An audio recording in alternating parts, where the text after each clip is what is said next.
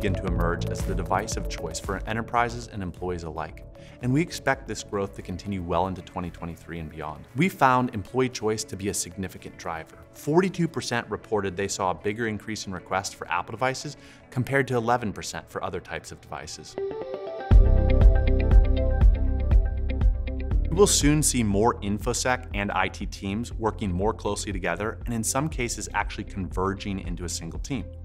We are already starting to see IT admins joining the security team, as today's global decentralized workplace has broadened IT's responsibilities within the enterprise. As more enterprise companies follow the lead of modern SaaS and technology organizations, the next task will be creating and using the best tooling to bridge the gap between these two core competencies.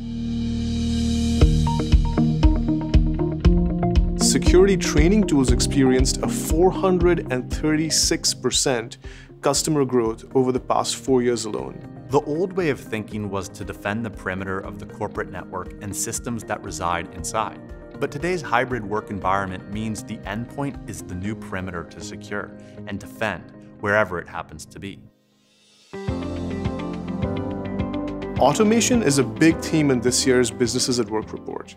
For instance, we're seeing growing adoption of Okta's workflows, which makes it easy to automate identity management processes at scale. Kandji integrates with Okta workflows in a no-code solution to automate critical components of the user lifecycle that are prone to friction or manual error. Teams at organizations of all shapes and sizes rely on devices, laptops, phones, and tablets, for example, to do their work. And all organizations are looking to improve productivity and secure these critical assets.